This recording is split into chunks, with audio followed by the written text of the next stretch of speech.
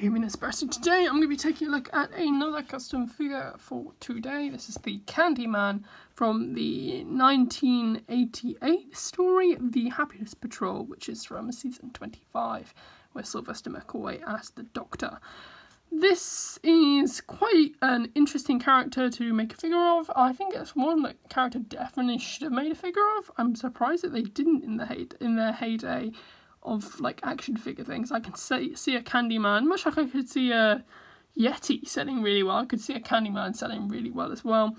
I doubt we'll ever get a KandyMan figure because it would just be impossible to do, do a B&M set with this, and I doubt we're going to get any classic figures outside of the B&M set. So this, for me, was always going to be one that I really liked because I love the, the design of the costume, the monster is such a great, iconic design. When the Seventh Doctor era, like when I think of the Seventh Doctor era, the monsters I always think of are like the Haemovores, the KandyMan, and of course the iconic Imperial Daleks from Remembrance of the Daleks. They're the the creatures I think of with from the Seventh Doctor era.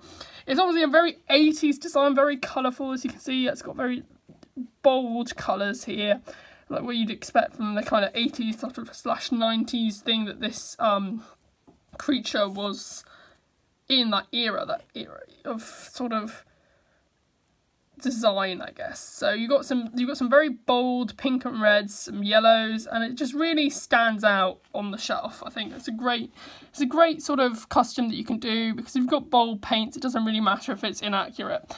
Um, first of all, I'm going to talk about how this is probably completely the wrong size. If I get my Sylvester McCoy figure, where is he? Here he is. You can tell that he is much shorter than he should be because he is much taller than Sylvester McCoy. So right off the bat, that's probably the thing that annoys me the most about this figure. Um, if I was ever going to do this again, it would be to try and make it taller. But at the same time, I think if I did make it taller, it'd be unlikely that it'd stand. So, I mean, you win some, you lose some. Um, starting, we have some, obviously, some sort of trademark sweets here. You've got some, you've got your Bassett, sort of licorice all sort. You've got this thing at the top, which is also licorice. It's basically the KandyMan, the Bassett's KandyMan. In fact, I believe there was a lawsuit around the time of the Happiness Patrol because um, the company Bassett that makes licorice all sorts believe they um deserved copyright on it, but they didn't get it.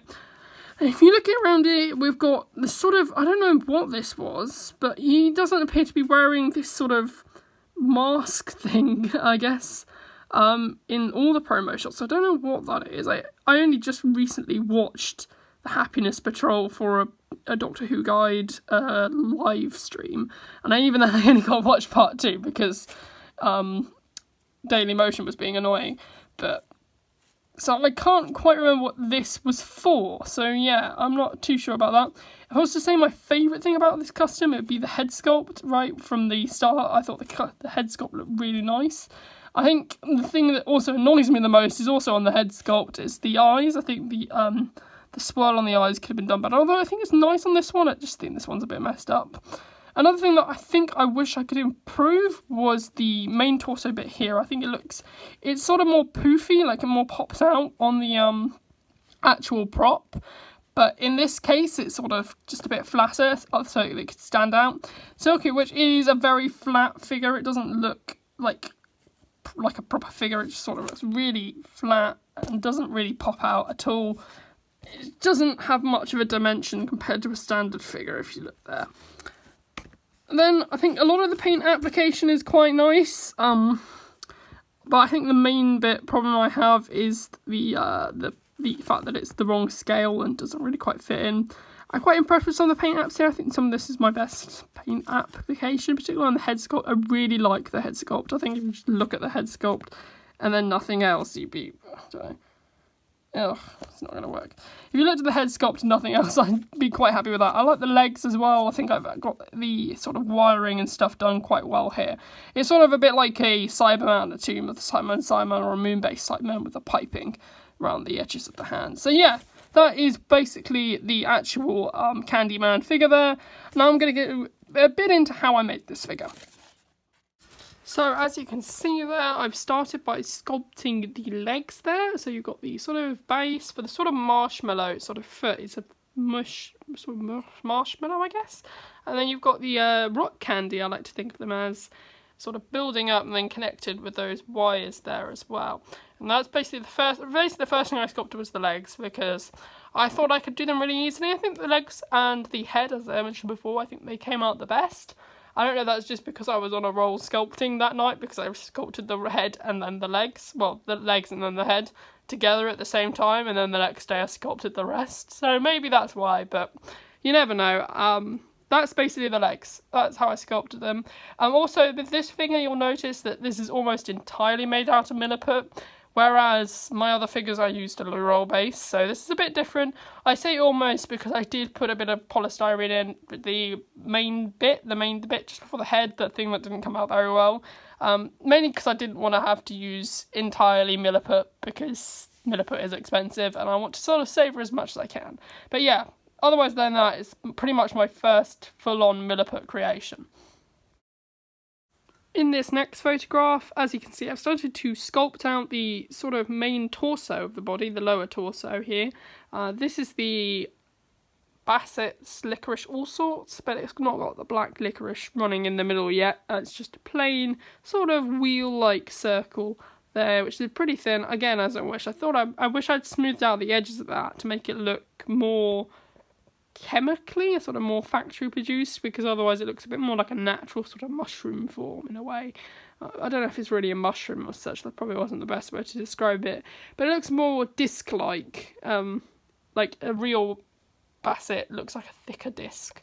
Whereas this is sort of more naturally curvy. So that's another thing I think I could probably take away if I was doing this again. There you can see there's the head sculpt. Um, as you can see, I think that's the thing that worked out best. I found the, just the right colour to paint that as well, so I think that really helps it when it's fully painted.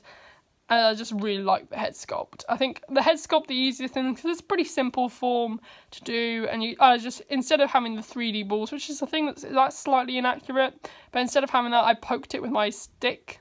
My oh, that's a bit wrong. I poked it with my I poked it with my sculpting I'm just gonna say stick. I poked it with my I poked it with my sculpting stick um, to get that head and get the sort of holes in there that sort of look like the, the sort of, I don't know they like rock candy sort of like candy. Oh, what's the name? Sprinkles, I guess. They're kind of like sprinkles to get that sort of effect on the actual figure. Here I've started sculpting the sort of main upper torso and the arms, and this is my least favourite thing about it, as I mentioned. I think I think you can tell when the sculpting knife goes through it to get the sort of lines. It's not very even and it's not very clean cut. And I guess, again, this is a very early on custom for me. So, I mean, these kind of things are never going to be pretty. But as a way to sort of, if I was ever to try and redo this, and I can see myself in a few years going back and redoing this if I keep with these customs. I think I could maybe do that better in future. If I got more, if I get more sculpting stills, I've still got quite. I've literally got the one sculpting stick.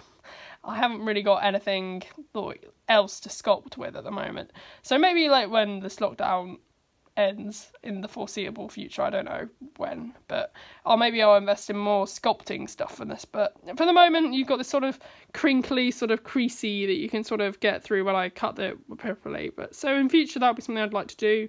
Again, the legs, the arms look a bit fat to me. I mean, I don't know. They sort of look more. Again, this is sort of a more natural look, whereas the thing, the actual creature, is more sort of smooth which I guess is something I can't really help because again I haven't got the right materials, but still that's something I'd like to improve on in future. Again, I just sort of prodded up a, a little hole to stick the hands in, and then I let that dry together like that, rather than just trying to sculpt on the hand onto the arm because that never works for me.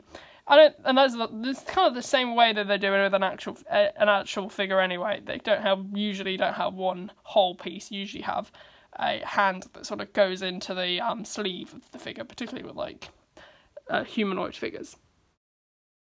Here the figure is starting to sort of come together there. That's pretty much the full Milliput sculpt there. You've got the wires hanging down to that sort of middle section that exposed section with all the wiring, which I never really quite got round to doing properly. I just sort of painted it grey and hoped for the best.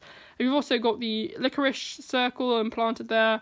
Basically, the whole thing is together just before being painted. Here is the back, and that's where you can mostly sort of see this sort of um, cracked effect, as I referred to earlier. Um, I think the back, I think it kind of works when you're facing it or when it's on my shelf and you can't really see the back because the back is my least favourite thing about it. I always have a thing where I'm, when I'm sculpting something, it's always the back that goes wrong. But that's at least, at least it's not the front because that's the side you sort of display when it's on like a shelf or anything. So ups and downs, I guess. Here um, is also um, I wanted to point out here because you can see that I have hot glued um, the bits together. I think that I didn't have super glue on me because I'm very ill equipped to do this, but so I think if you were to try and do this, probably do use super glue because the hot glue kept on falling apart and never really quite stuck together. I'm still worried that it's going to fall apart even though I've used hot glue to death on that figure. So just something to be wary about there. Here, the painting is just sort of in progress here. You've got the sort of lighter colours. I think the um I think the best place that I the best place that I painted to be fair is that upper torso bit, I think, and the head sculpt. I think the colours are really clean. I really I went over those layers several times. I'm really quite happy with that. Um, the lower bit is where I think the messiest paint application is because the sort of clean lines I've got to do on the uh, sort of upper part of the leg, uh, the sort of thigh section of the figure.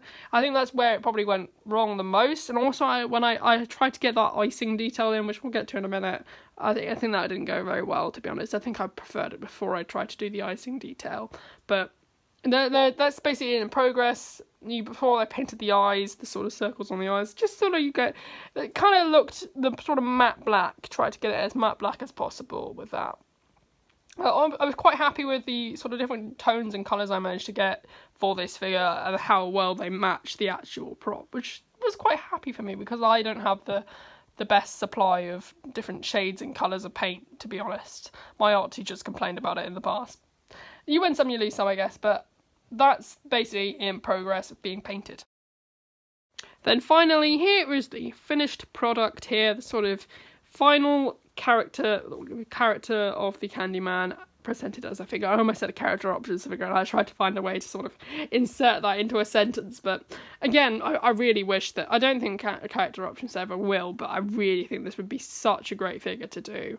I mean, even if it wasn't like I know Harrop models do some cool models. I think they could really pull off a KandyMan figure quite well. I don't know if Eaglemoss has done a KandyMan. If there is an Eagle Moss KandyMan, that might just persuade me to get it because, as I said, this is one of my favourite monster designs. It really shocks me that there hasn't been a figure of this.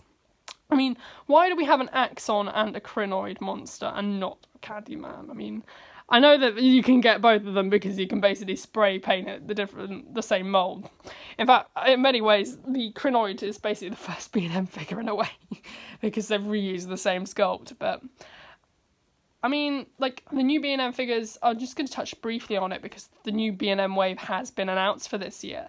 The new B&M wave is it frustrates me a lot of the time, and sometimes I'm sometimes I'm very happy that we are getting new figures. Just to stress, but sometimes it does frustrate me because I think while it's okay to do this, the um the way that the B and M range is dealt with for B and M figures, for B and M exclusives, I have seen that seep in to the official line, the uh, the proper line with the Graham figure, and even the Thirteenth Doctor figure uses reuses some parts from the Martha Jones figure, and the Graham figure obviously uses the Primeval mold, and that was an official release. I mean, if it had just been a Companions B&M set, I might have let it go. But, I mean, the fact that they have had the Graham figure and then they've gone on to release Yaz and Ryan in a B&M set, it kind of make cheapens the effect of both the figures, to be honest. I mean, why not have an official release of Yaz and Ryan? I I know that's basically being a hypocrite about the point I made before, but it kind of just, it, it both cheapens the actual idea of having a new wave of figures as well as having the new wave of figures basically be a reuse of parts because basically what we got earlier in the year is basically the B&M line. I mean, character doesn't have any lines to spare there. I'm I am very happy with the B&M figures. I'm very excited about them. To be fair, I just wish they were available online. Um, I think June is going to be too early. because it's only two to three weeks away and we've still got 500 deaths a day. I don't see that lowering that quickly, to be honest. I think June is a very optimistic bet, to be honest. And I'm certainly not going in June, to be honest. Um, but yeah, that's the B&M, B&M thoughts. Back to the custom figure. Again, this KandyMan figure, again, I'm very happy with it. It's one of my favourite figures, and at some point I might come back to this, particularly that upper torso bit, if I can get the lower body and the head sculpt to come off. Um, that would be something to revisit. It's half term soon, so that means I'll have more time to make customs. I haven't made any um, sort of in term time because I get a pile load of work. It's just the way it is. I suppose. But yeah, hopefully I'll get more more customs done over the next week. We'll see what I'll, I'll get up to. I'm interested to see if anyone's got any ideas for any customs I should do or I can attempt to do. I'm basically operating on the fact that it's basically Milliput only because I don't have that many action figures as it is, and I'm not really willing to sculpt on them because I'm scared I'll screw them up. But you know, I'll be excited to to see if there is any sort of exciting customs I could try. I've looked online. There's some interesting ones that I want to try. So I definitely have something to do, and I've still got lots of Milliput left. So yeah, I'm quite happy with the finished result. Um, I'd love to know your thoughts down below in the comments section. If you like this video, leave a like down below and subscribe for updates on future content and reviews. Thanks for watching, and goodbye.